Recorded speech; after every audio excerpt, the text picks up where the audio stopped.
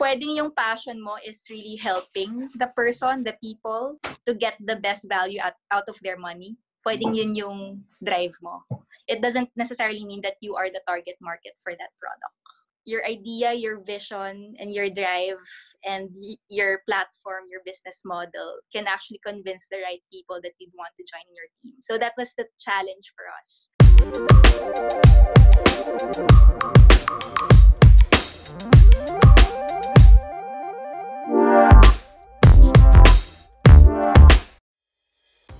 So hi guys, we're in for a treat today. We have Yasmin. Like I forgot your. I'm still Yasmin Neri, but okay. you know it's Yasmin Neri So Yao then. oh, I was supposed to say Yasmin Neri. yeah, for those who don't know, I've met I met you uh eight seven eight years ago. What's what's funny about that? Pa, we met in a audition. I think for a, for a for a business show. I, I think. Yes. Oh, I, I felt so out of place because I I wasn't really I don't know, I just like sharing my ideas about business, about investing. Pero nakita ko sila lahat, hala, they're all really into, uh, ano, broad, nasa broadcasting space kayo lahat and that's where everything. Yes. Yas right now has a business that's highly connected to e-commerce. But before we yes. go to that, uh, tell us about your backstory, how what led you into this industry as well. Okay, so nagsimula ako as an artist for Star Magic 2008. I was launched as batch 15. And I thought that what I really wanted to become was to be, to be an artista. Yeah. Mm. Ayun, I, I was always on camera doing TV series, uh, mga commercials, ganyan. But I always found the back baga, behind the scenes also really interesting. So I started becoming a producer. Mm. I became um, one of the producers for ANC Stream Living, I also became a producer for Game Plan of uh, Rappler. And then I got into digital publishing as well. I was multitasking. Kumbaga, I was on cam, but I was also a producer. So I was on cam as an O shopping host. Mm. So I was a shop host for five years mm. uh, with ABS-CBN O Shopping. So, sorry, when I met you, you were doing O Shopping, not yet. Yes, I was doing O shopping. But I was also a producer on the side. Okay. Yon. Tapos, dun sa O shopping kasi, we were trained in Korea. So, I was actually exposed to the whole home shopping culture there. Na 24-7 broadcast, they were selling anything under the sun. Kahit yung mga gold bars, funeral services, insurances. As in, as in wild. Iba yung behavior talaga nila in terms of home shopping. Mm-hmm. Sa Philippines, hindi pa tayo gano'n nung time that, that we were exposed and we're really learning. And um, bringing that experience with me, um, after five years of being on camera for O Shopping, I decided to study more the backside of uh, broadcasting. So yun nga, nag-digital pa rin ako, pero nandun na ako sa business side. So I, I joined the ABS-CBN Creative Programs Inc. So we were handling yung mga brands like Metro Magazine, yung Chalk Magazine.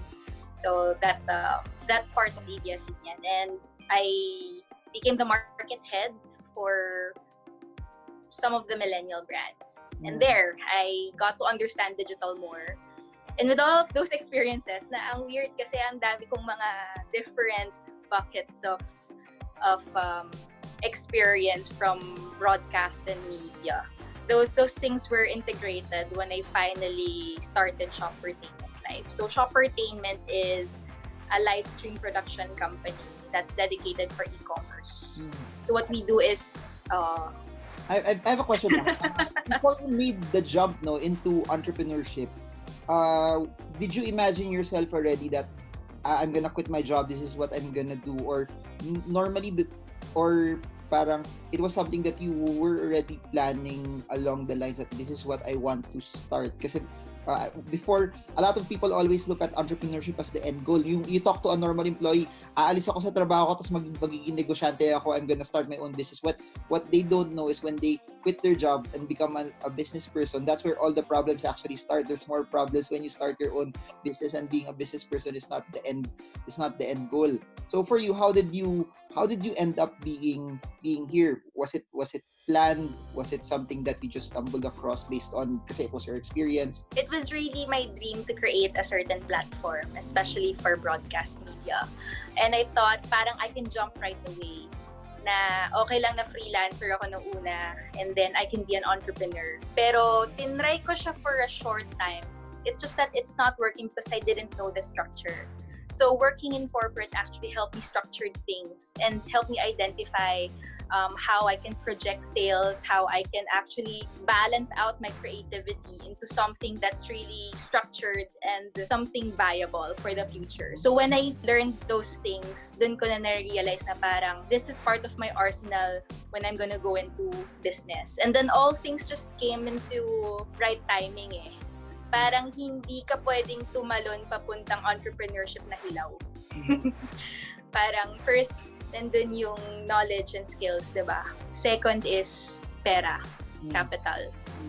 So, when I was able also to raise that and also have partners, uh, good partners with me who are also helpful in creating the network for that business, um, that's when I jumped and I decided na, okay, I think I'm ready. Hindi na siya half-baked. Startups have a lot of things that, a lot of growing pains, no?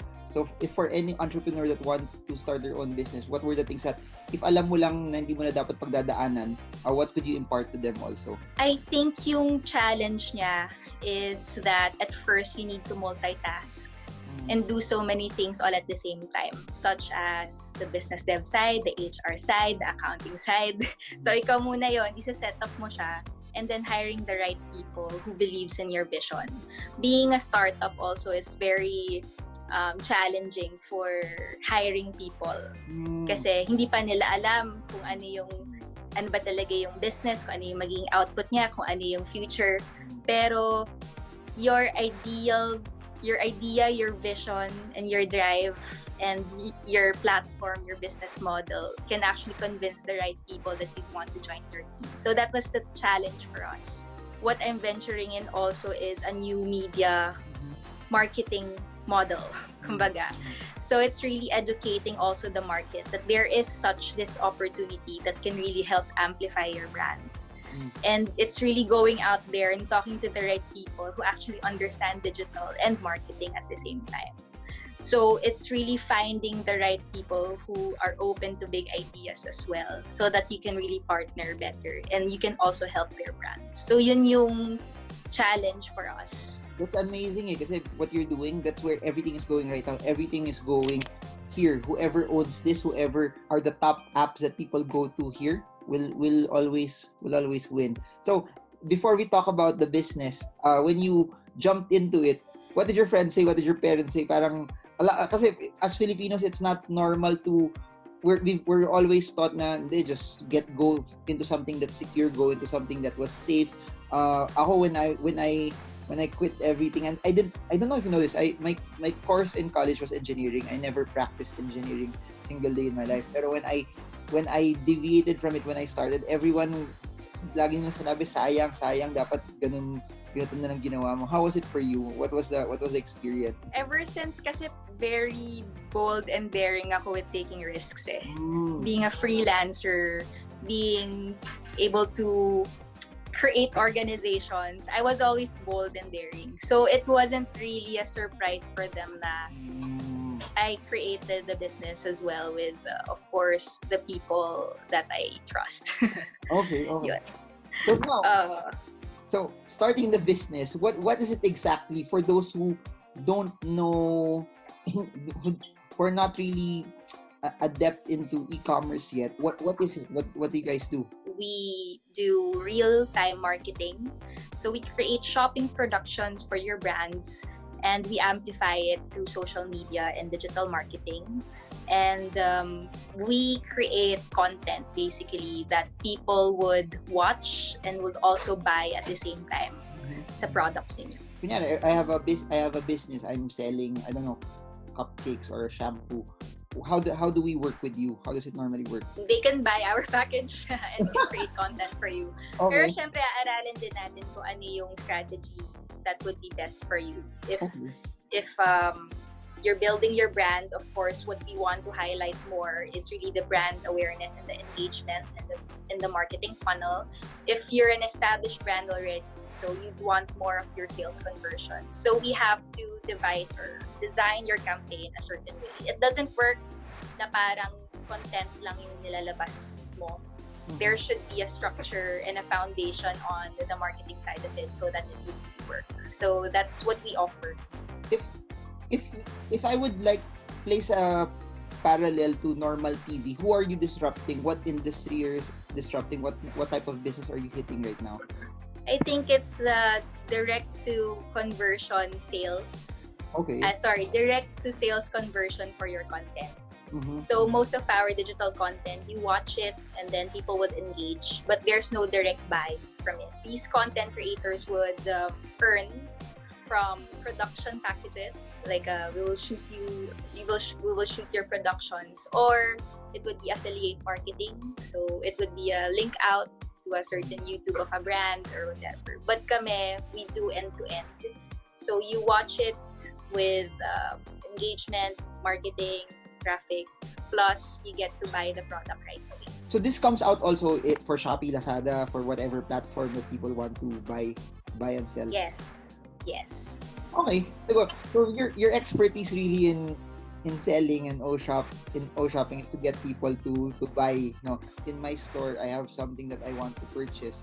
What's what's the best way to uh, get people to interact, buy, and purchase also? Of course, we have live tools naman. You have your Facebook, you have your Instagram, you have your uh, marketplace also wherein you can go live. So it depends on you on where you want to put out your live video and sell.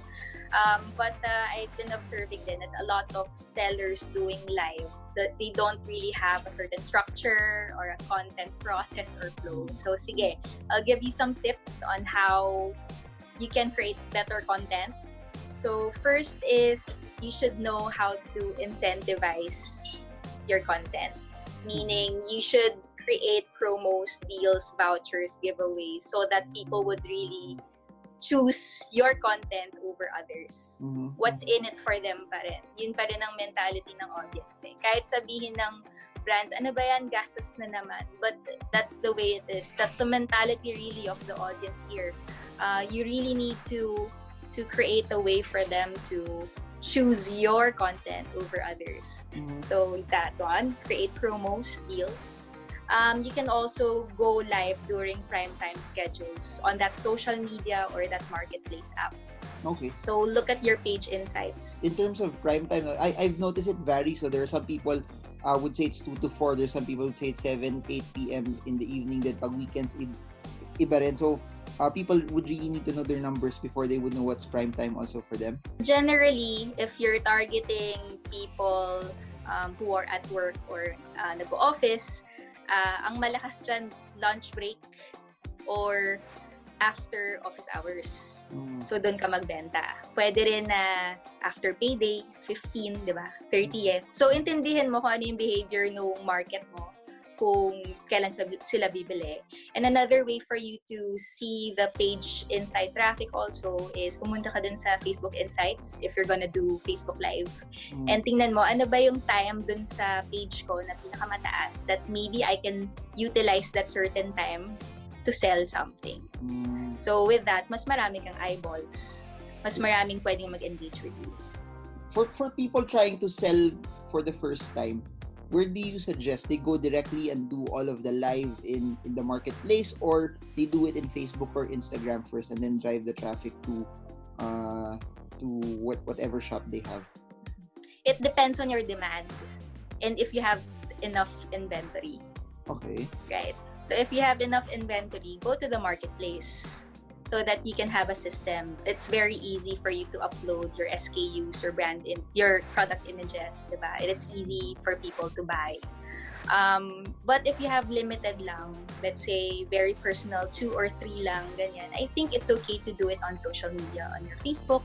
And then if there's gonna be a buyer, they can just comment and then or message you on the messenger. So it depends on your capacity to supply that certain demand if you're going to create a demand. Okay. Live stream kasi is a community building tool. Mm, So what it does is that um, it helps you engage your followers and then lead them to a certain call to action. mm. So if ang daming nag-engage, just wala ka namang mabigay sa kanya, kawawa ka naman, di ba? okay. okay. I mean, sayang yung brand mo. Sayang din yung yung engagement. Mm. So at the end of the day, what you want is um, sales and you want also your customers to be happy. Okay, got it. Next, after going live at a certain time, what what should they do next? Of course, you need to be confident, enthusiastic, and entertaining Mhm. whenever you're doing your live stream. So, Okay. meron kasing mga ibang sellers na parang ganun lang, parang wala man lang animation, walang emotions, di ba? Ah, ito po, ito po, binibenta ko, ito po, ah, earphones, ganyan. Okay. So, put a little bit of animation into it. Put emotions as well. Kasi people can't really see, taste, hear, smell your product. So, it's your job to make them feel, hear, see, and taste those uh, products that you want to sell. Mag, mag-acting kang konti. Like, kunyari, this is soap. So, I smell it. Mmm, mabango siya. Mabango po talaga siya. Di ba? Mas convincing siya kaysa yung parang, okay, ah, mabango naman po, mal- mabango. Parang wala lang, 'di ba? So you try to connect also your body language because it's it's a way for you to sell as well Mm. on camera. How would you treat, for example, you're selling a a high-end bag versus a cheap bag? Is there a difference in how you would uh, do that as well? Yes. It depends on your tone of voice. So if you're selling for a premium bag brand, 'di ba? Syempre ang target market mo diyan, gusto mo yung medyo mas premium din yung bibili. Those who have the capacity to buy that certain product at a certain price, right? So when you talk to them, talk to them in a way that's also aspirational for them or something relatable to them. So you speak in English, you try to tone down your voice, you modulate it. Hello everyone, uh, I want I, I'd like to show you my bag. This is for sale, di ba ganon? Compared to, let's say, medyo mas masa. Siyempre, ayaw naman ni masa na medyo social-social ka. Kailangan relatable ka rin. So, Hi guys! Oh, ito, meron akong bag para sa inyo. Uh, ito, maganda. Di ba? So, you should also know your target audience and know how to talk with them and relate to them better.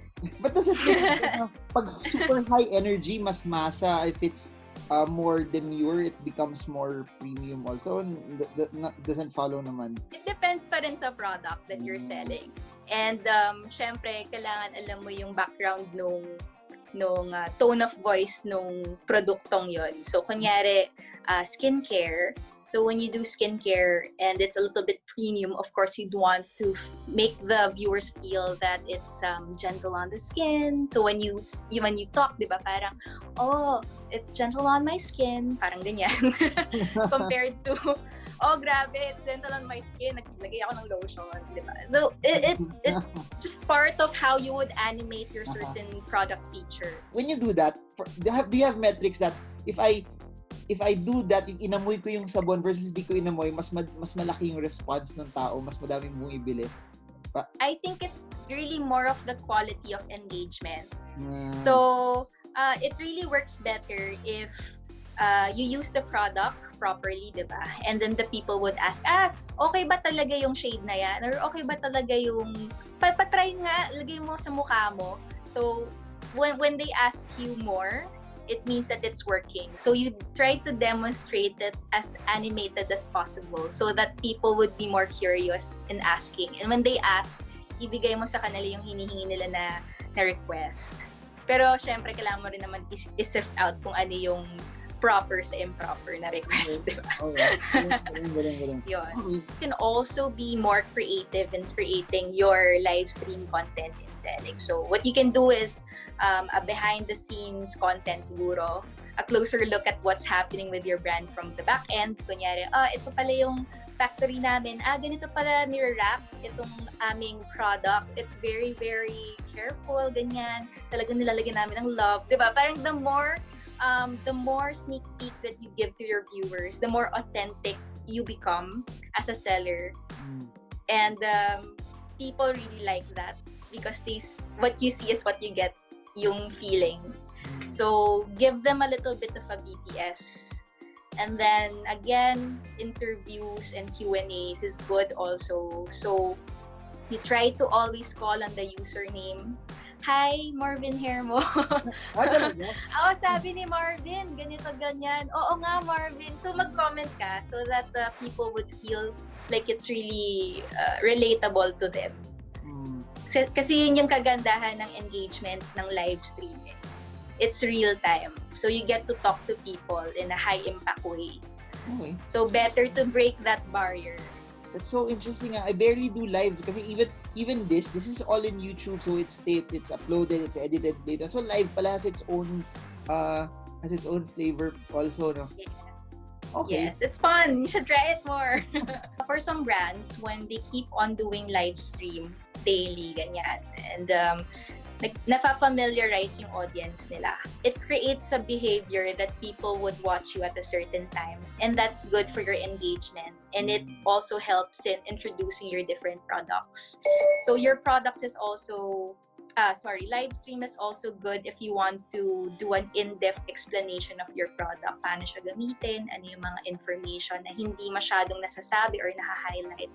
So it actually gives you more opportunity to talk about those uh, features. Live streaming your brand consistently can help create that behavior for your followers.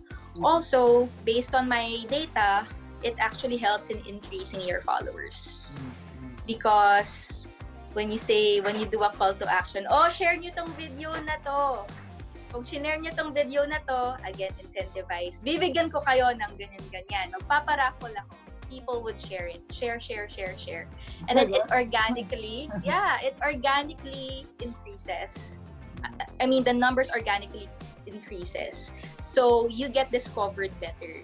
mm. So they would transfer and go to your page. uh, how would you know that it it's it actually happens that people that were there were the ones who share it or ano lang you just say it as bahala na kung may mag-share or or wala after Um, style mo na yon. Pwede kang may tao sa back-end na tumutulong sa'yo or pwedeng paunahan sila Mm, sumagot sa question mo. So it's that's where you get creative. galing. And syempre yung mga tao ma-excite sila. Kaya nga masaya siya kasi pwede mo siyang gawing parang game Mm. yung content mo. And again, it's always about incentivizing. there are a lot of businesses pa that are, are medyo traditional pa. What what would you say to them? How would you convince them that uh, digital online is already everything? Uh, if you, if you would note it also, the attention now is are is Facebook, YouTube, Instagram. It's all digital. Pero ad rates, the ad rates for TV are still high, even though the attention is not there anymore. Not, dati pag tra- pag traffic sa EDSA, yung tao nakatingin sa billboard. Ngayon pag traffic sa EDSA, everyone is on their phones, uh, streaming, watching, watching stuff. If I were a traditional brand, how would you tell me that, hmm, mag-digital ka na rin. This is where you should sell. I think it's not very new anymore. Everyone has their own digital marketing as well, especially for the, the big brands. Um, but it's their appetite on gaano kalaki yung budget yung ilalagay ko sa digital, gaano kalaki yung budget lalagay ko kay TV. Depende pa rin yan kung nasa yung target market. Most of our brands, they want something 360 talaga. So, hindi pa rin mawawala yung um, broadcast kasi Pilipinas medyo late na. But they know that digi- digital is here. I think it's really more of the live stream uh, as a tool that they could really maximize. That's something new. We can help you with that if interested kayo. Ah, I, I have a question. Do you guys, are you the only one in this space? Do you have competitors? We're the only one doing uh, this one. So we have our broadcast uh, live stream studios in Quezon City. And um, again, we're really fusing different um, fundamentals of broadcasting, digital, e-commerce in this business. So a little bit of something from these different industries as well. And then we we created solutions for for brands as well for their marketing and advertising. when you did this, of course, the capital to be able to put up studios are it's it's it's it's hindi siya basta-basta. It's different na compare magtatayo ka lang ng cupcake business. It's how did you do it in terms of planning for the finan for the finances? Do you do you suggest that people who want to start their own business they uh, save up the money for it? They get partners or they take out a loan for businesses that they want to start? Kami, what we did was we really got it from our own pockets. Uh, we saved up for it and then we partnered with others as well. And of course, these partners should have connected resources para mas ma-amplify and mas mabilis yung pag-start ng, ng business. So like for us, we're all in uh, e-commerce, in broadcast, um, also in influencer and PR marketing. So these are my partners and we saw the synergy between our businesses Mhm. and we banded together for this. Okay. So there's no investor investor lang pera lang yung linagay tapos they don't do they don't do anything. No. Okay. When we choose our partners, it's also very important that, that they should be beneficial to the business. Mhm. Because um, that's what we don't want. Yung parang uh, they're just putting in money Mhm. but there's really no other value than that because it's easy to put in money but making the business work for a longer time um, operationally uh, of course grow it. It takes a specific team that would um, have certain expertise Mhm. baga uh, tulong-tulong kayo dyan It's 2020. This video will be in YouTube forever. Where do you want to take the company? Para balikan natin to 10 years from now, 15 years from now, people will see, oh, this is where Yas start. This is where Yas started, and this is how she. of course we want it to be as big or bigger than China so we Oh. also want it to be we have that big dream talaga to create live stream as part of the ecosystem of e-commerce Mhm. and uh, we're creating we're going to create more studios we really want more people to use live stream as a tool for their e-commerce as well Mhm. For those who want to start their own business, what's your what's your tip for them? For those who who know deep inside that they want to be entrepreneurs pero takot sila to take the leap, to take the jump. well first create a minimum ano yan? minimum viable product Mm. Right? And then don't be afraid to test it first. And if you see that it works with the market, then try to invest in it um, in terms of time and money. Pero don't be afraid to start with something. Mhm. Um, if it's, for example, selling something, let's say creating your own brand or putting a, something online, edi try try live streaming it or try to post a photo of it in your Facebook page and see if the product is actually working or if, if, if it's something that the market really wants. Mhm. So I guess it's just using low cost resources first to test your product. And if you feel like, oh, there's a good response, then maybe it's time for you to think bigger. Mm. Is this your ano?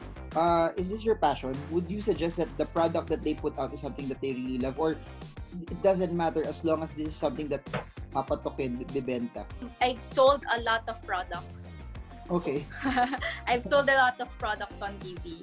Uh, some of them, dun ko lang mismo na iintindihan ko ano yung product na yun. Never ko pa siya nag nagamit sa buhay ko. Ganyan. Mhm. So, ang philosophy ko dyan, if you're selling something, is that become empathetic to the market that you're trying to reach and look at that certain benefit and you keep on highlighting that benefit. It doesn't mean that you should be the one benefiting from it, but understand your market and why would they benefit from that product. And that sole purpose of helping them out can actually help you become a better seller. Yon. So for example, way back I was what uh, 21 years old selling like mom products, mga sa Whoa. kusina ganyan. what I had to do was really research on what are their needs, what are their problems. Mhm. Does my mom um, have this certain problem? And when I understand more about their problems and empathize with them, dun ko na mention yung uh, better na skills na makakatulong dun sa aking um, buyer. Mm. So understand and empathize. Pwedeng yung passion mo is really helping the person, the people, to get the best value out, out of their money. Pwedeng yun yung drive mo. It doesn't necessarily mean that you are the target market for that product. Amazing. Lastly, for people who are scared right now, uh, they don't know how income will possibly come in over the next few months because of of this. Any words of encouragement for them also, uh, or if you were if you were parang I'll, I'll- make it situational. You're a person who you earn off commission and everyone doesn't want to spend right now, what would you do uh, to leverage the situation to turn it for the better? Build on your brand. So even though there's no direct return of sales right away, building your brand is always a good way for you to bank on especially when, for example, lockdown is over already. You're able to bring out the message that you want to create as a professional, as a business, as a brand. So you just keep on building, let's say, content like what you're doing. It, it's good. You're, you're doing your vlogs, you're doing your YouTube, you're, you're talking to people. So just build your brand because um, that's a good way for you to increase your awareness and parang kahit na wala siyang direct sales conversion, there's always something good that comes out of it. Just to add to that, no, for me, intent always is everything. Eh. That sometimes it's not really about also getting earnings off of it immediately. Uh, it's always about giving so much value to whoever your market is, whoever you want to reach as well. Because when you, this is what I know about business. If you oversupply people with value, money will always follow. Eh it's always about you giving more than what you what what, what people are paying for. And when that happens uh, hindi ka mawawala ng hindi ka mawawala ng customer. No one no no one will will leave you especially kasi there's so much talk about marketing and brand. Brand is basically uh, what you say is also what you will also deliver. You, you have the best you have the best brand tapos people try you and then later on uh, hindi maganda yung service mo, hindi na sila hindi na sila mm. also. So Correct. I super believe in what you uh, what, what you're what you're saying that you always uh, give give give more than what people are asking also. So, I guess that's it for now. Thank you so much for being part of this uh, lockdown vlog. and, and it was fun. and, the, and the goal of this is I, I just really want while people are watching this during the lockdown that they uh, they educate themselves, they build skills also and and while everyone is tuned into the internet that they use this time for them to be able to catapult them and do better also once the lock- lockdown is over as well.